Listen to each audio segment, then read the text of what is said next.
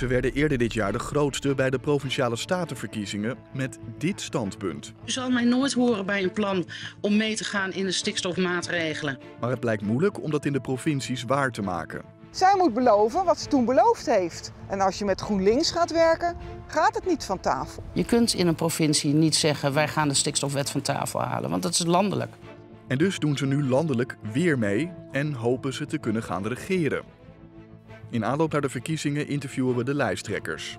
Dit keer Caroline van der Plas van de BBB.